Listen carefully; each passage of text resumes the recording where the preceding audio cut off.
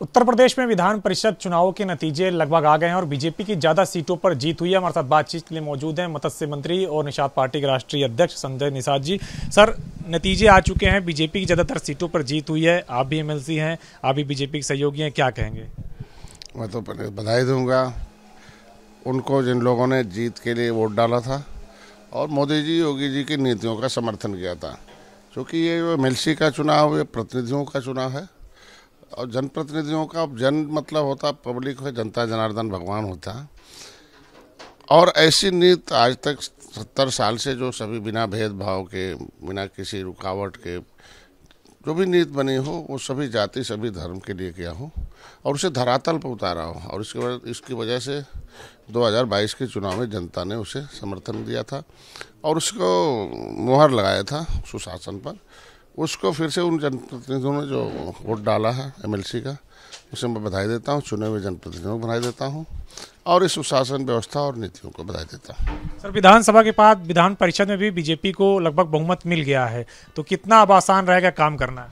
निश्चित रूप से पूरा आसान हो जाएगा क्योंकि जनता का देश है, जनता के लिए कानून बनते हैं, जनता के हितों के लिए बनता है। और जनता के हितों के लिए ये जो एनडीए है, भारतीय जनता पार्टी, निषाद पार्टी अपना दल है।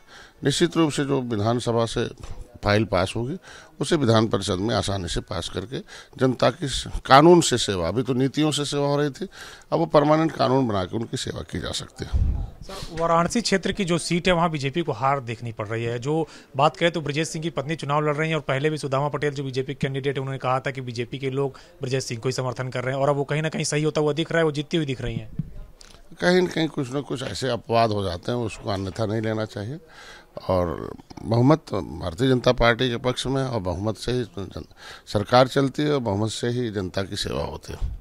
सर एक आखिरी सवाल है आप दिल्ली दौरे पे आए हैं क्या गृह मंत्री से मुलाकात होगी क्या आपकी या फिर किन मंत्रियों से मुलाकात होगी? निश्चित रूप से जो मेरे को मंत्रालय मिला है उसे एक नंबर पर उत्तर प्रदेश में लाना है चूँकि उत्तर प्रदेश में मछुआ नदियों की संख्या झीलों की संख्या पोखरों की संख्या बहुत अत्यधिक है बड़ी बड़ी नदियाँ हैं।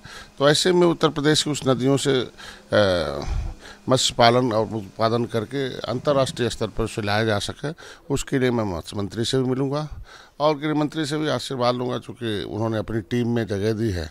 और माननीय धर्मेंद्र प्रधान जी से मुलाकात होगी, चूँकि उन्होंने निषाद पार्टी के, उन सभी पार्टी के जो पदाधिकारी थे, जिन्हें हमने टिकट दिया था, उन्होंने भारतीय जनता पार्टी जैसा अपनी हुई हमारी निषाद पार्टी को भी ध्यान में रख के उन्हें तन मन धन से जिताया।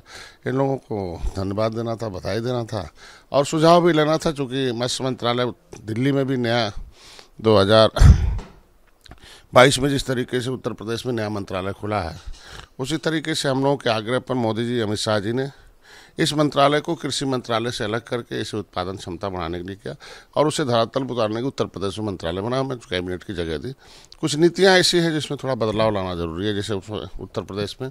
लेदर मैन और महिलाओं को साठ परसेंट सब्सिडी अनुदान है, सहयोग है।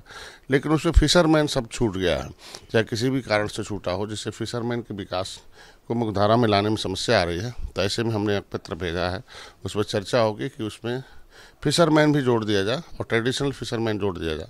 और उत्तर प्रदेश में स्पष्टीकरण किया गया फिशरमैन कौन है?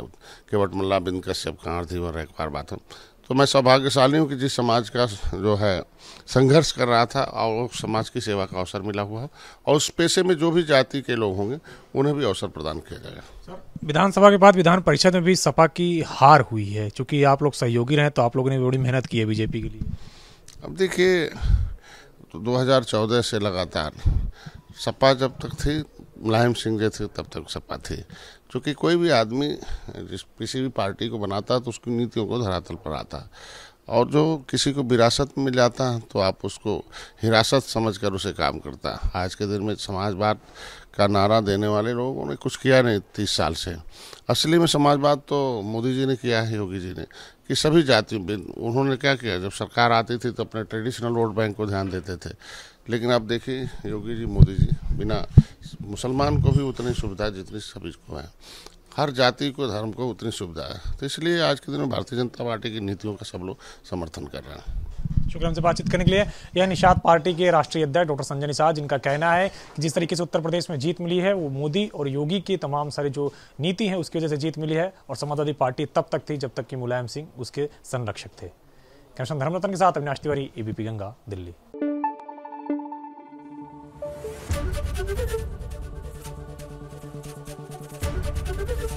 एबीपी गंगा खबर आपकी जुबा आपकी।